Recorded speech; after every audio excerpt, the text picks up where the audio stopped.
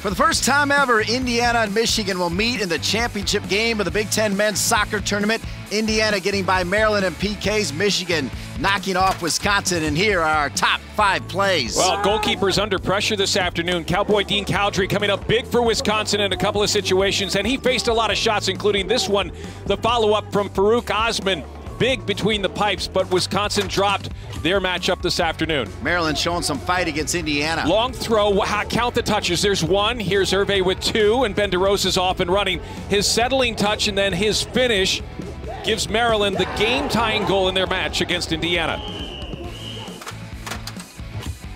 Number three, the winner in the PK shootout, Corey Thomas finishes up and gives Indiana the opportunity to play on Sunday in the Big Ten final. That's because the Big Ten goalkeeper of the year, Trey Muse, was big you in PKs. You expect them to make one big save, but Trey Muse, the big man between the pipes, made two gigantic saves to give Indiana a chance, and they took it. And I think Andrew Gutman is the best college soccer player in the country. Hand him the trophy. Watch him beat these defenders. One, two, three, four. Here's number five. Why not another for good measure? And then the keeper.